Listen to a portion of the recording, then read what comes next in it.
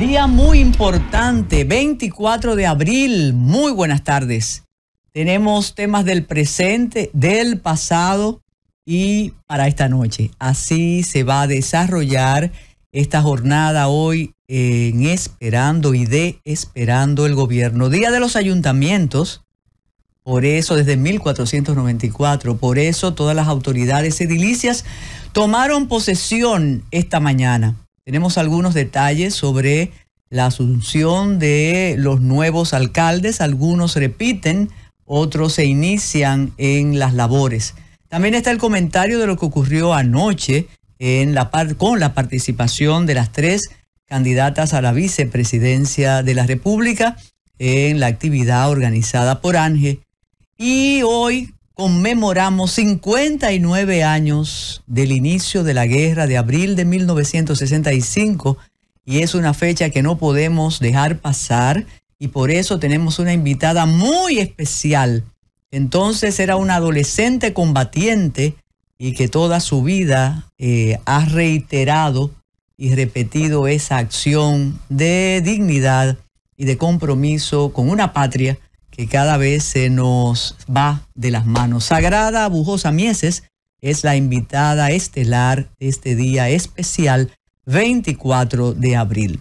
Ocurrió lo que temíamos en la alcaldía de Santo Domingo Este con Manuel Jiménez. Manuel Jiménez se despidió de una manera no eh, satisfecha de sus gestiones y de su gestión como alcalde era presentida esa actitud y es muy lamentable lo que ha ocurrido con Manuel Jiménez y hay muchas explicaciones. Desde que no era del PRM y por eso fue usado y se aprovechó el deseo que él tenía de ser alcalde, esa era una obsesión de un apreciadísimo amigo, militante toda la vida en el Partido de la Liberación Dominicana, eso es una lección pero el afán por conseguir la alcaldía lo hizo eh, sumarse a las filas del abinaderismo, hizo una gestión realmente lamentable, mm, penosa, dejó eh, plazas inauguradas,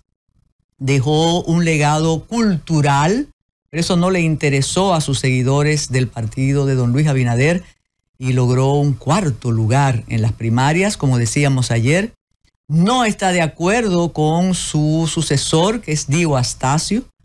Y entonces hoy, el día clave, no pudo olvidar su corazón de artista, la emoción, no que lo traicionó, sino que fue el Manuel sensible, el Manuel que no iba a permitir eh, una desconsideración, aunque Dio Astacio, poderosísimo, dijo, no, no, no, todo, todo nos vamos a llevar muy bien, pero Dijo Manuel, el desorden puede comenzar después que yo termine. Terminó y se fue. ¿Qué va a ocurrir en Santo Domingo Oeste? Bueno, que Manuel sigue fiel al abinaderismo, pero no al dioastacismo. Y no sabemos si al PRM. Y naturalmente eh, tenemos que recordar lo que él dijo cuando las elecciones, que dejaba en libertad a sus seguidores. Lamentable, entrega a un municipio con estatuas, pero con mucha basura. No pudo controlar eh, ni el negocio espurio que había ahí, ni la innovación con la recogida de basura. Y termina en un sueño que él tuvo.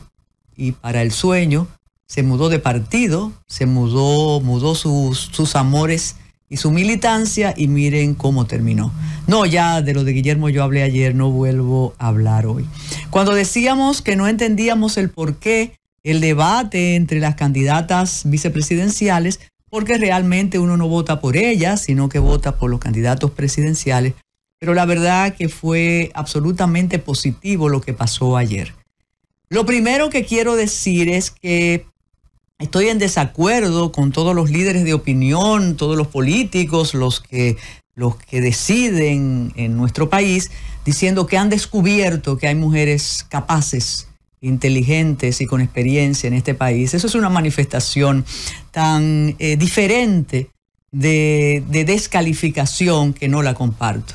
El error ha sido de ustedes de no saber y confirmar que desde hace mucho tiempo las mujeres tenemos un lugar en esta sociedad, que necesitamos más claro que necesitamos más.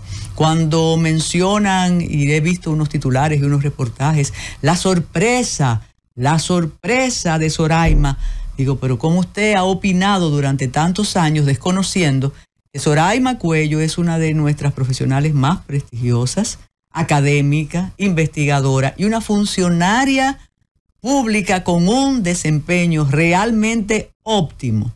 Entonces, si usted no la conocía, es usted que tiene problemas. Del mismo modo, Ingrid Mendoza ha sido una profesional liberal, una abogada que ha ejercido durante mucho tiempo y de la vicepresidenta, bueno, eh, la conocemos y su gestión ha sido realmente encomiable. Anoche en el, en el debate, en la actividad, yo no, bueno, anoche fue más debate que entre los senadores. Sí, la vicepresidenta eh, se le notó el altivez que produce el poder. Incluso cuando hablan, ah, las mujeres, que, ah, las mujeres no nos agredimos. No, no, no. La vicepresidenta descalificó a sus camaradas, a sus contendientes. Incluso le dijo en una ocasión, pero es poesía. ¿Y de dónde es la biblioteca que ustedes han sacado esos números? No fue agradable, no fue hermoso eso, pero estaban peleando por el favor del el electorado pero sin lugar a dudas, si no es cuestión de ganar o perder, pero una vez más, ratifico, una vez más, Soraima Cuello demostró y ratificó una historia de desempeño óptimo en todo lo que ha hecho. Recordemos que hace unos años, estábamos aquí en el otro horario, Soraima presentó la segunda edición del libro Siete Riesgos en las redes sociales y el comentario que hicimos fue cómo Soraima logró reunir en la presentación, en el acto de presentación de su libro, a personalidades de todos los sectores políticos de este país. De modo que Soraima no era un secreto mal guardado, Soraima es una eh, profesional y una política dominicana con credenciales óptimas. Y ustedes quienes no la conocían lo pudieron eh, descubrir o ratificar anoche. Aparte de lo que, lo que pasó en la alcaldía de Santo Domingo Este, eh, las personas que en una ocasión me lanzaron muchas piedras cuando yo decía que el líder de la nueva casta de impunes, Santiago Matías que tenía el respaldo del de, eh, oficialismo y que cuando él ocupó o mandó a ocupar a sus huestes la ciudad colonial, que solo la vicepresidente se atrevió a decir que fallaron en todo, hoy tienen la ratificación de la complicidad o de la, de la colaboración de ese impune con la alcaldía en la toma de posesión de la alcaldía o de la alcaldesa del distrito, él está con ella. Sabemos que él mostró su voto, que ninguna organización cívica, ninguna autoridad se atrevió a imputarle la comisión de un delito electoral a ese señor, pero él hoy nos demuestra que es el líder de la nueva casta de impunes en la República Dominicana.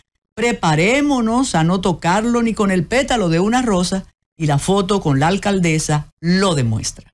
De modo que no fue invención ni maldad en esta cabina. ¿eh? Los hechos hablan. Y esta noche nos espera el plato fuerte, la participación de los candidatos a la presidencia de la República, el candidato del Partido de la Liberación Dominicana, Abel Martínez, el candidato de la Fuerza del Pueblo, Leonel Fernández, y el candidato presidente, don Luis Abinader.